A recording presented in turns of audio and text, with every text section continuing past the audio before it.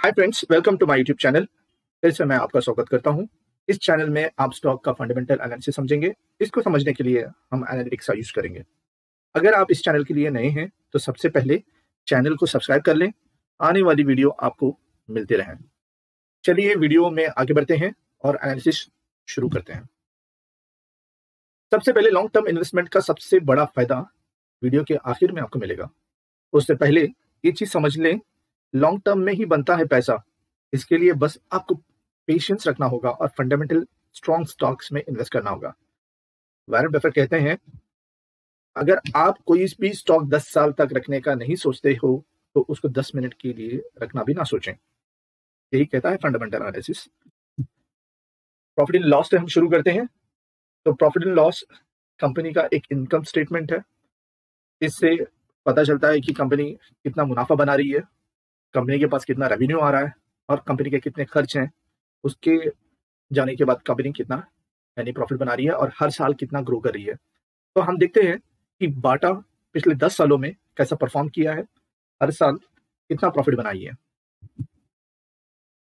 यहाँ हम देख सकते हैं कि कंपनी अपना सेल्स लगातार यानी एक लेवल से यानी अपना बिज़नेस बनाया है और 2020 में कुछ ज़्यादा देखने को मिल रहा है।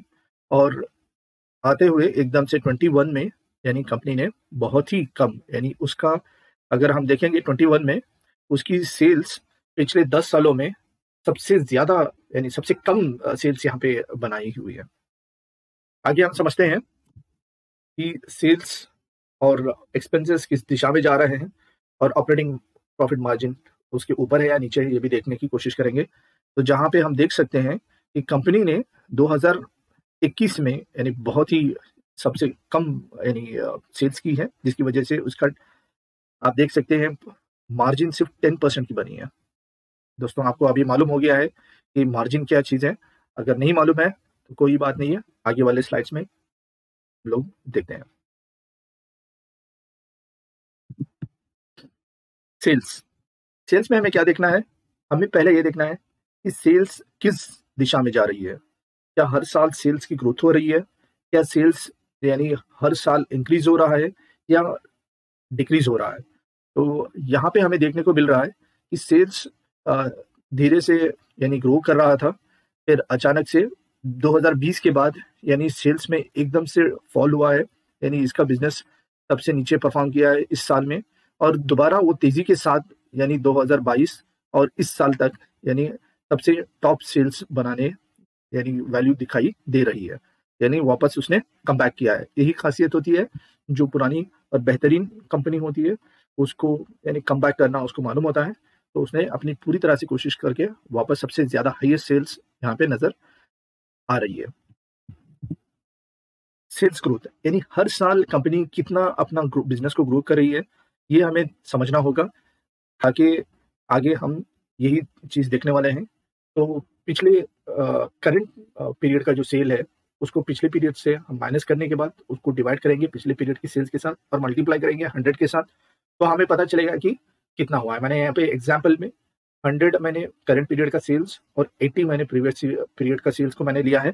फिर हमको यहाँ पे मिला है ट्वेंटी फाइव परसेंट की ग्रोथ तो ये पॉजिटिव नंबर बता रहा है कि अगर ये पॉजिटिव नंबर आता है तो यानी इसकी सेल्स ग्रोथ हुई है। नेगेटिव नंबर आएगा तो इसकी सेल्स यानी घटी है। मतलब उस सेल्स प्रीवियस पीरियड से भी उससे ज़्यादा कर नहीं पाया है। तो बाटा किस दिशा में गया है? सबसे पहले हम समझ लें कि हमारा टारगेट लाइन क्या है? टेन परसेंट की टारगेट लाइन है। और बाटा इस टारगेट लाइन को अचीव कर पाया है या नहीं पिछले दस सालों में, ये देखने को मिल रहा है कि शुरुआत में यानी ट्वेल्व टू थर्टी परसेंट तक उसने यानी हर साल उसने सेल्स ग्रोथ की है, लेकिन उसके बाद, यानी बिलो टेन परसेंट की, अपनी जो टारगेट है, उस टारगेट से भी, यानी कम में देखने को मिल रहा है और यहाँ पे माइनस में भी नज़र आ रहा है।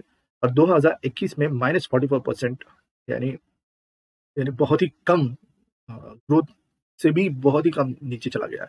और वापस उतनी ही तेज़ी से 40 परसेंट यानी सबसे ज़्यादा, अगर आप देख सकते हैं कि उसकी ग्रोथ था, यानी 2022 में कम किया है। और ट्रेलिंग पीरियड में यानी 37 परसेंट की ग्रोथ नज़र आ रही है। और आगे हम समझते हैं कि पिछले 10 सालों का एक एवरेज हम जब कैलकुलेट करते हैं तो हमें देखने को मिल रहा है कि टारगेट टेन परसेंट से एकदम नीचे की तरफ़ है। और रिसेंटली यानी तकरीबन थर्टी थर्टी नाइन परसेंट के आसपास देखने को मिल रहा है।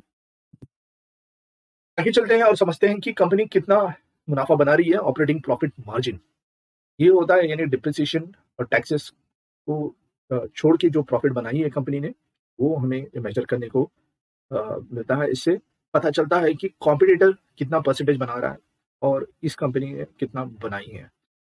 यहाँ पे उस कैलकुलेशन को समझने के लिए ऑपरेटिंग प्रॉफिट हमने सेल्स के साथ डिवाइड किया, फिर उसको मल्टीप्लाई किया हंड्रेड से तो हमें चलता, पता चलता है ऑपरेटिंग प्रॉफिट मार्जिन मैंने एग्ज़ाम्पल में 150 ऑपरेटिंग प्रॉफिट को 1000 के सेल्स से मैंने डिवाइड किया और मल्टीप्लाई किया 100 से, और 15 परसेंट की मुझे मार्जिन मिली है। यही चीज़ हम देखेंगे बाटा किस तरीके से बनाया है। आप देख सकते हैं कि 15 परसेंट का अपना टारगेट है, और बाटा ने, यानी ऑपरेटिंग प्रॉफिट मार्जिन में, यानी 15 के आसपास उसने बनाया है। लेकिन यहाँ पे आपको देखने को मिल रहा है कि 13 12 12 परसेंट यानी दो बार और एक बार 10 परसेंट यानी ये, उससे यानी टारगेट से तकरीबन चार बार, यानी चार साल ऐसे हैं जो टारगेट से, नहीं, चार से पाँच बार ऐसे हैं जो टारगेट से, यानी नीचे आया है। और बाकी सारे, यानी फिफ्टीन परसेंट के ऊपर है। और ट्वेंटी में आप देखने को मिल रहा है कि ट्वेंटी एट परसेंट का ऑपरेटिंग प्रॉफिट मार्जिन भी बनाया है। और करंट पीरियड का ये रख रहे हैं ट्वेंटी टू परसेंट जब हम यहाँ पे देख सकते हैं कि एक एवरेज जब हम कैलकुलेट कर रहे हैं तो 10 साल का एवरेज ये बता रहा है कि 15 के ऊपर है और पाँच साल का 18 परसेंट से ऊपर नज़र आ रहा है और करंट पीरियड यानी आप देख सकते हैं ट्वेंटी टू परसेंट आगे हम डिस्कस करते हैं रिज़र्व एंड बोरोइंग्स रिज़र्व ये होता है कि कंपनी के पास कितना पैसा है और बोरोइंग्स ये होती है कि कंपनी ने कितना उधार लिया है, यानी डेट तो कंपनी शुरू के दस सालों में अगर देखा जाए, यानी सॉरी दस साल शुरू के नहीं है, पिछले दस सालों में कंपनी पिछले तीन सालों की इसमें आपको देखने को मिल रहा है कि कंपनी ने ज़्यादा से ज़्यादा ना डेट लिया यानी forty one percent thirty eight percent और जो पिछले दो सालों में, यानी यानी उसने उतना कम किया भी नहीं है। अगर आप देख सकते हैं तो कंपनी के पास 2019 तक कोई डेट नहीं था। कितनी अच्छी बात है ये चीज़, यानी कंपनी डेट फ्री थी 2019 तक, लेकिन 2020 आप जैसे मान, जानते हैं कि कोरोना की पीरियड की वजह से, हो सकता है इस कंपनी ने शायद यहाँ पे लिया है डेट और यहाँ पे देख सकते हैं कंपनी अपना, यानी रिजर्व्स बढ़ा रही है, जबकि डेट कुछ भी नहीं था। लेकिन जैसे आप 2020 से 22 तक अगर देखते हैं तो कंपनी ने रिजर्व्स से अगर कंपेयर करेंगे तो यहाँ पे ज़्यादा, यानी डेट बनाया है। कैश फ्लो कैश फ्लो इसमें हम दो चीज़ों का मेजर करते हैं। ऑपरेटिंग कैश जो कंपनी ने बिज़नेस के थ्रू यानी अपने ऑपरेशन से जो पैसा बनाया, और कंपनी में जो इन्वेस्ट किया, अपने रिसोर्स यानी अपने मशीनरीज को या फिर अपने एसेट्स को इंक्रीज किया, यानी बिज़नेस के एक्सपेंशन के लिए, वो हम यहाँ पे देखने की कोशिश करेंगे। अगर ये एक ऑपरेटिंग कैश जो है, एक पॉजिटिव नंबर होता है और कैश फ्रॉम इन्वेस्टिंग एक नेगेटिव नंबर होता है, जब हम दोनों को ऐड करते हैं, उससे हमें अगर पॉजिटिव नंबर मिलता है तो ये अच्छी बात है। अगर उससे नेगेटिव नंबर मिलता है तो ये हमारे लिए ठीक नहीं है। तो ये चेक हम जब चेक कर रहे हैं तो यहाँ पे कोई भी ऐसी चीज़ नज़र नहीं आ रही है कि कंपनी का, यानी नेगेटिव नंबर नज़र आ रहा है पिछले दस सालों में।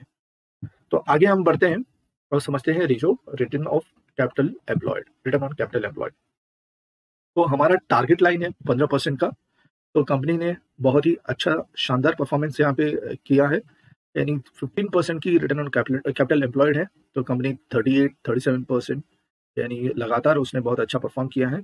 लेकिन 2021 से यानी एकदम, यानी पंद्रह परसेंट के पूरी तरह से नीचे चला गया यानी ज़ीरो परसेंट और अभी करंट में हमें देखने को मिल रहा है कि एट परसेंट चलिए, सबसे आखिर में हम पहुँच चुके हैं, जो मैंने शुरुआत में कहा था कि लॉन्ग टर्म इन्वेस्टमेंट का फ़ायदा क्या होगा।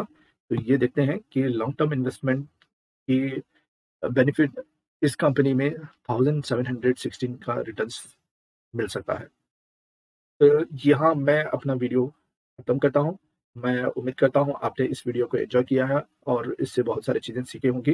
तो अभी तक आपने चैनल को सब्सक्राइब नहीं किया है तो प्लीज़ चैनल को सब्सक्राइब करें और इस वीडियो को लाइक करें और शेयर भी करें। सीखो और सिखाओ नमा स्टॉक मार्केट के साथ। और अगर आपकी कोई स्पेसिफिक कोई स्टॉक है तो प्लीज़ आप कमेंट में बताएँ ताकि मैं आपके लिए ख़ास एक वीडियो लेकर आऊँगा। और अगर आपकी कोई क्वेश्चन हैं तो आप प्लीज़ कमेंट्स में मैंशन करें।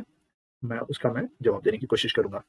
Thank you so much for watching this video मैं मिलता हूँ आपको अगली वीडियो के साथ।